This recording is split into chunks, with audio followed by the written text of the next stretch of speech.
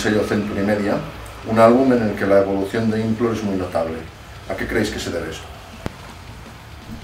Eh, bueno, principalmente es la, es la primera vez que, que escribimos un disco con, con, la formación actual. Es la primera vez para el batería que se unió a la banda en septiembre del año pasado y es la primera, fue la primera vez también para Marcus, el segundo guitarra, que, que añadimos precisamente durante el proceso de, de, composición y grabación del disco. Eh, básicamente antes de Subjugate el, el, proceso compositivo al Implore era mucho más eh, individualizado, alguien escribía un tema, lo enseñaba y básicamente el tema se quedaba así, ¿no? Entonces, siendo ahora cuatro que estábamos escribiendo, pues simplemente en el, en el local cada uno aportaba sus ideas y luego luego las tra trabajábamos juntas. ¿no? Cuando hay cuatro personas involucradas escribiendo un tema, uh, se notan muchas más influencias que no si solamente hay, hay una persona que los escribe. ¿no? Entonces, para mí eso, eso es lo principal en el, en el sonido y en, y en, materia de composición también.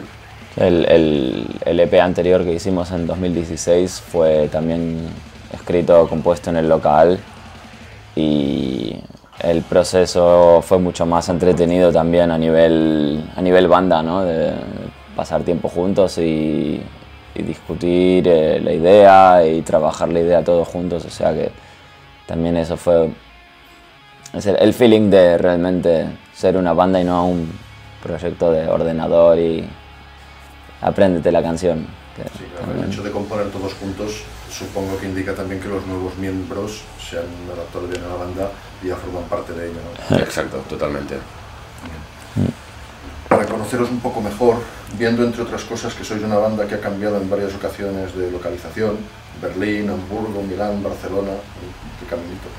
¿Cómo y cuándo surge O sea que, bueno, hace cinco años vivo en, en, en Alemania, Estuve tres años en Hamburgo y dos años en, Berlín ahora y empecé la banda en, en, Hamburgo con el ex guitarra Daniel, que bueno, al principio éramos, estábamos centrados en Hamburgo porque los dos vivíamos ahí, el batería era de Kiel, Kiel es una hora norte de Hamburgo. Y después él se fue a vivir a Berlín, eh, cuando yo dejé mi piso porque nos fuimos de gira a Estados Unidos Ahí fue cuando entró él como, como guitarrista suplente y después al medio año entró como, como miembro completo. Eh, cuando yo dejé mi piso encontré una habitación en Berlín, me mudé también a Berlín, al final éramos de Berlín, Kiel, Barcelona. Y después Daniel se fue, eh, también Michael, el, el guitarro, también, el batería también se fue, entonces quedó Berlín-Barcelona porque entró Arnau, que es de aquí, de, de también de, mi pueblo. Entonces fuimos de Berlín-Barcelona, después Arnau se fue, entró Guido, o sea, Berlín-Milán, eh, Berlín, Milán, Barcelona, y ahora entró Marcos, que es de Linz, de Austria. Entonces, Berlín, Milán, Barcelona, Linz. Eh, tiene que ser algo complicado, ¿no? Como sobre todo los ensayos. Sí, bueno, a ver, ya estamos acostumbrados porque para nosotros es lo, es lo que es. Mm, muchas bandas también tienen miembros de todos lados, como Aborted, como Downfall of Gaia, The Ocean. Son lineups internacionales que, mira, lo que resulta curioso es que yo soy el que vive en Alemania y no soy alemán, pero bueno, sin más tampoco, hoy en día es un poco así pero eh, nos juntamos, tenemos el local de ensayo en Linz, eh, nos juntamos ahí antes de girar, cinco días antes, y, y ensayar los temas. Cada uno viene con los deberes hechos. Y con más o menos cinco días apañamos bien lo que hay que presentar. O sea que es, es así. Eh, si fuéramos una banda que todos somos del mismo pueblo, igual no todos estaríamos por la misma labor. ¿No? Sí, a veces la distancia lo que hace es y que las cosas sean más compactas porque la gente presta más atención y hace sus deberes mejor. Y pasa que encontramos, el tema es que encontramos a la gente basándonos en, la dedicación que le pone, no en, en dónde vive o, o la distancia. Sí que sería más fácil si todos estuviéramos más cerca, pero igual si estuviéramos más cerca no seríamos la gente adecuada, si buscáramos cerca. Ese es el problema. Buscar la gente por sus actitudes y por su compromiso. claro. claro, mejor no buscarla, de la gente venga también, porque así fue realmente. Cuando, cuando Guido entró en el grupo, él nos contactó. Y con Marcus fue que él lo conocí en un concierto y una cosa llevó a la otra porque conocía su otra banda y, había buen feeling de, cuando los vi, lo vi tocar a él dije este, este tío y Petro juntos en el escenario serían un, combo increíble y estaba en lo cierto. Entre vuestro anterior trabajo de Population y este hay un cambio importante de formación. ¿A qué ha sido debido? A eso mismo. Que sí, Daniel, cuando empezamos a girar con The Population, Daniel no. No podía seguir el ritmo de las giras. Eh, Michael, el batería, también.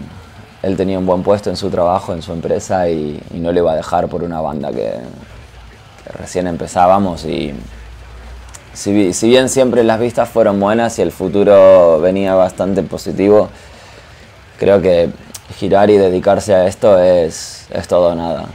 Y muchas veces hay que sacrificar cosas que, que a uno le hacen daño porque, no sé, quizás no, no, ves a, tu gente o a tu pareja todo el tiempo que quieras verla, pero eh, hay que elegir, hay que hacer cosas, poner cosas a un lado y, y siempre trabajar por la banda porque es un trabajo de 25 horas al día. Entonces, eh, ellos no tenían la voluntad de trabajar por esto y, él sí, y yo también, y aquí estamos.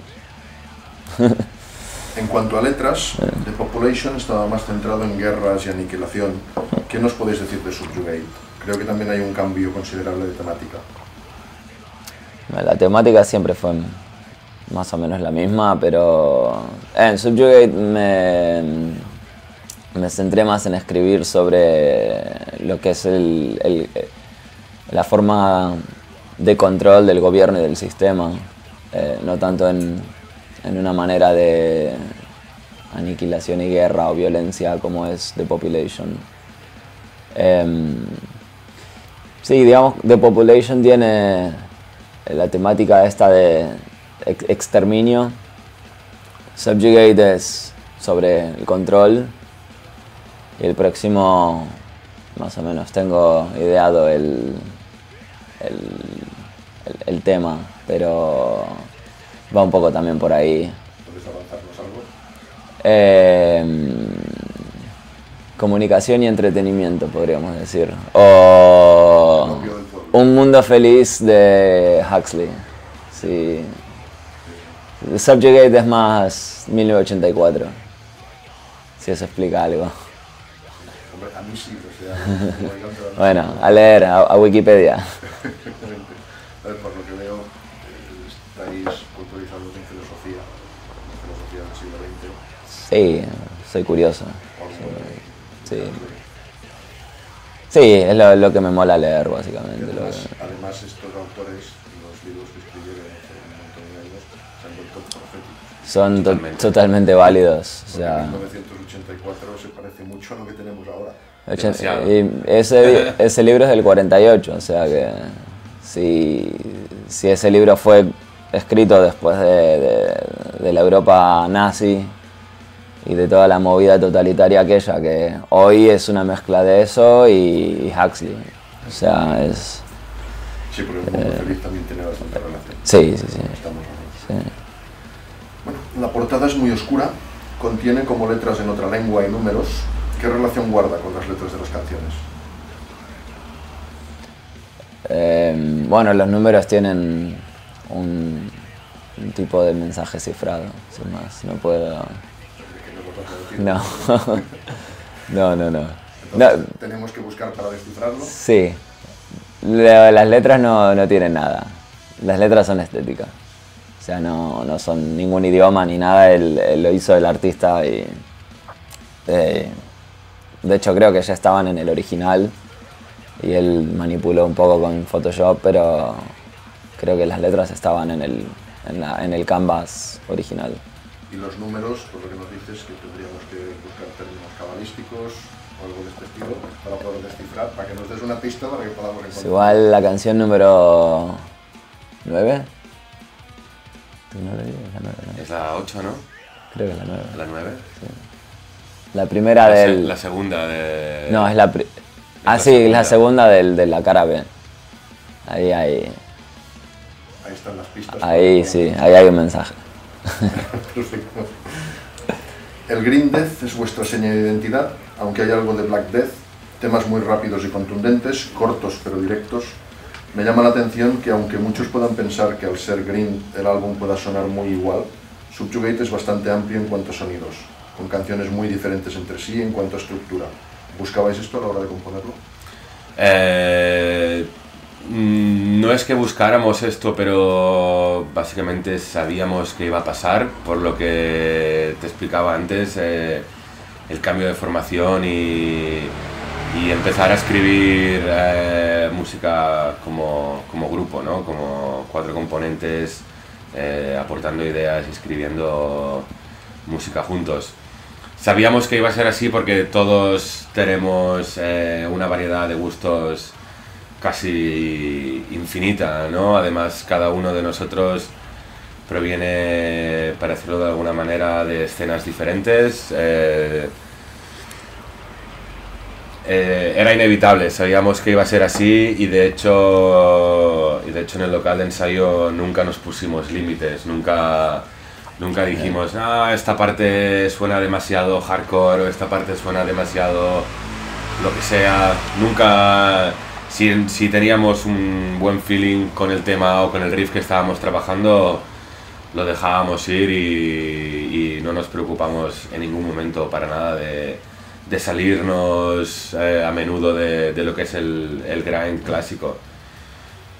Yo creo que, que el disco gana en frescura en este sentido, ¿no? Eh, sí que la base es de grindcore, pero, pero bueno, hay un montón, hay un montón de influencias diferentes, incluso, incluso retaría a los que nos están viendo a encontrar influencias de NoFX en el disco, por ejemplo, Sí. porque las hay.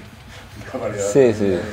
Es que nunca fuimos una banda conservadora, o sea, incluso de lo- desde, los, desde el primer EP que él no estaba, que hay una variedad y una diversidad musical que, es, siempre fue a mi gusto lo que hizo atractivo el grupo en sí, ahora que, que, está, que, somos este line-up, que es Implore es una banda hecha y derecha que no cambia de miembros nunca.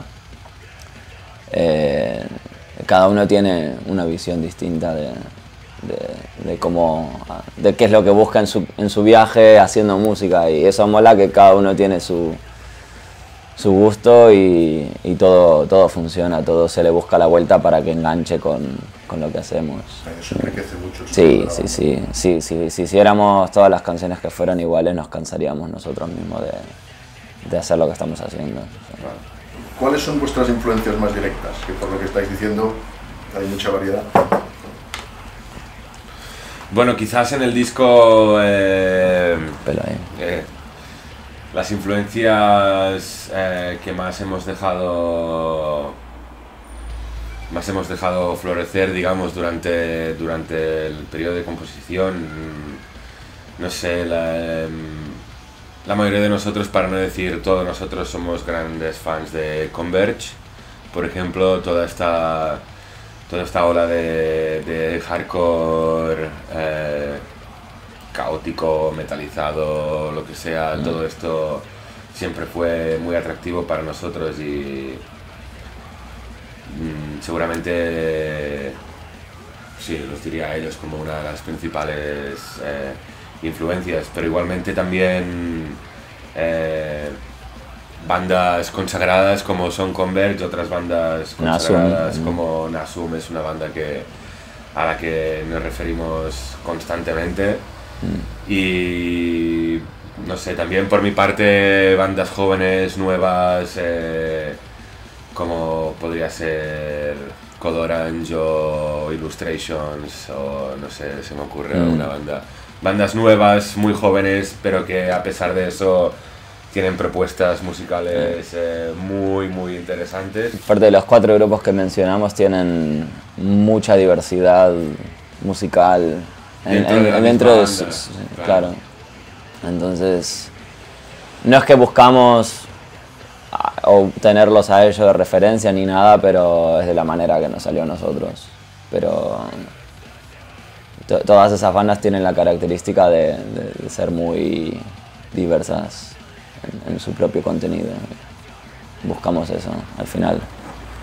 Habéis fichado para este disco con Century Media. Supongo que para vosotros es un salto importante. ¿Esto os puede abrir muchas puertas y posibilidades?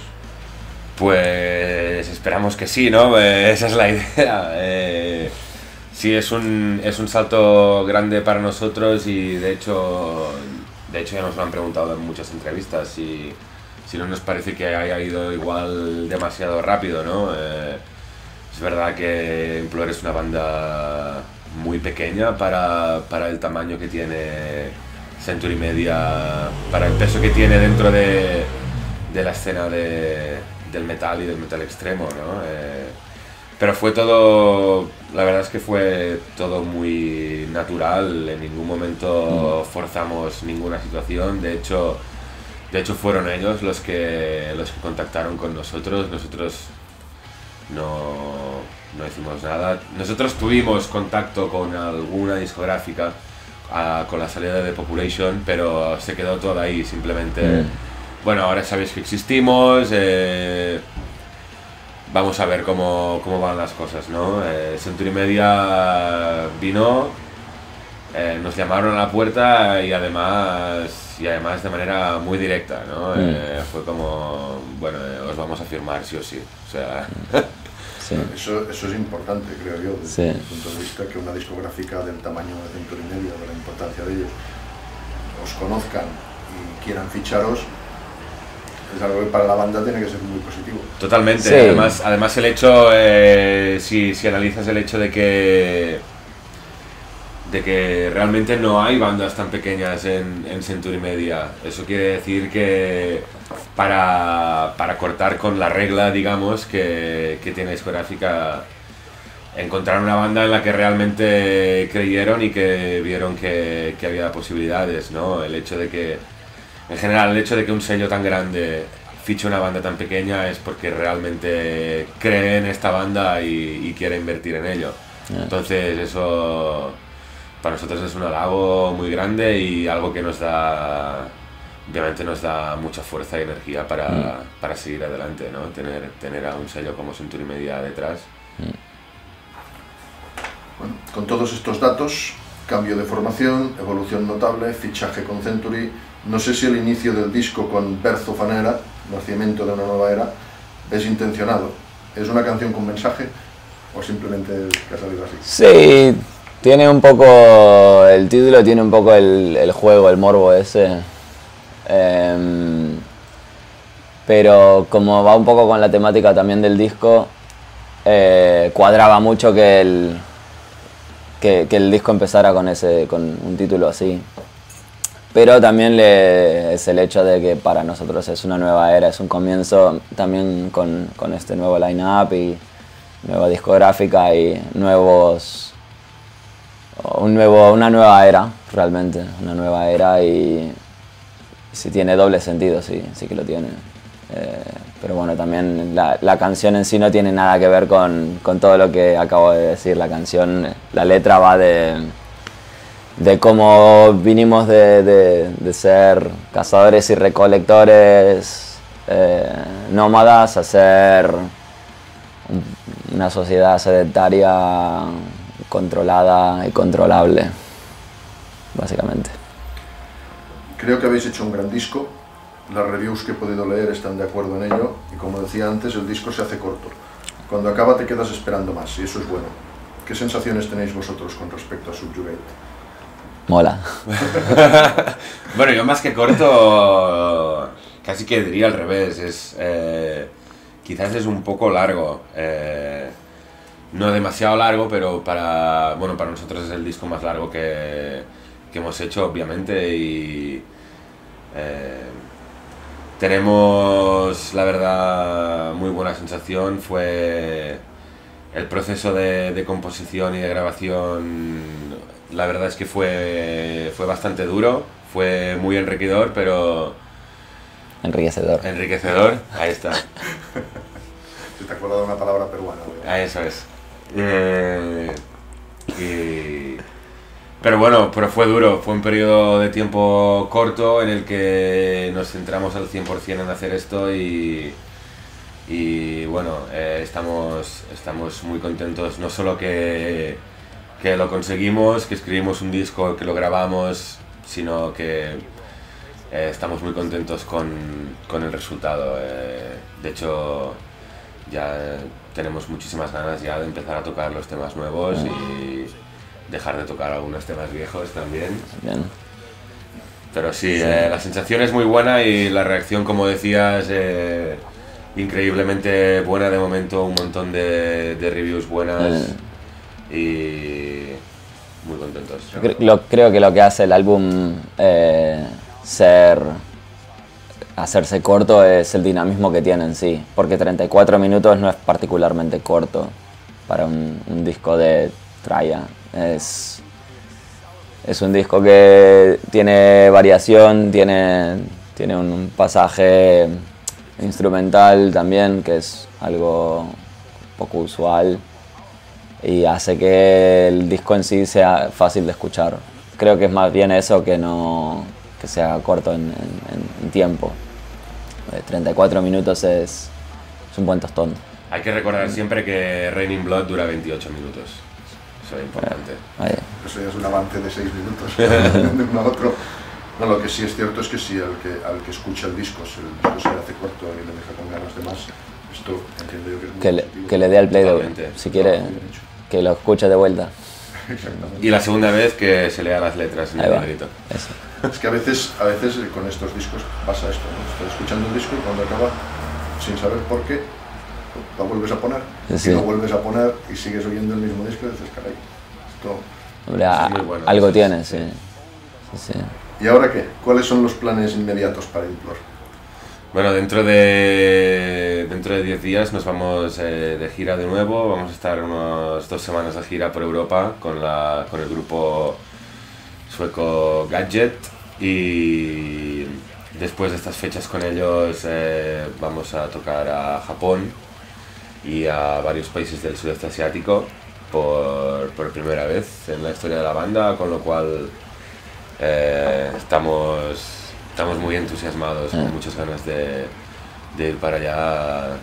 De hecho, nosotros ya somos un poco, poco fans de, de los, de los tours un poco más aventureros. eh, ¿no? Nos gusta, no nos ponemos límites eh, contando los sitios donde hemos conseguido tocar ya en la, en la corta historia de la banda vemos que es posible, ¿no? Y entonces queremos tocar, queremos tocar donde sea, con lo cual tocar en países como Indonesia, Malasia, Vietnam, Camboya. Camboya, tocar en Malasia por primera vez en un estado, en un estado Musulmán. por ejemplo, no lo hemos hecho nunca. Eh, Mongolia también vamos. Mongolia. Vamos a Mongolia y Corea del Sur, Taiwán. Eso no es, no Hong es Kong. habitual, ¿no? Es habitual, de hecho cuando la gente me, lo- me lo comentó, le digo, nosotros encantados. y hace un frío del carajo, además. ahí. O sea, aparte va a ser un frío del carajo ahí. Y luego Tailandia, tipo, bueno, Tailandia de hecho no vamos, pero Indonesia, ahí, Filipinas, hostia, Filipinas sí, ¿no? va a ser un calor. Filipinas que Tailandia, ¿eh? Un calor. Sí, sí, sí. Pero mm, exactamente eso que nosotros donde nos quieran vamos. O sea que prácticamente por los cinco continentes, ¿no? No, aún no. El año pasado. De hecho, hicimos desde 2015. Hicimos en 2015 hicimos Estados Unidos y Rusia. Y en 2016 hicimos em, eh, América del Sur. Em, Ahora hacemos Asia y Australia. el año que viene. sí. Para. Sí, lo que pasa es que ir a Australia es muy complicado. Por tema de visados, por temas, Sí. por temas financieros también es muy complicado. Hombre, es caro, caro. Es, es muy caro ir ahí, eh, es difícil. Caro y es difícil. Bueno, en Asia no vamos a recuperar los vuelos tampoco, pero.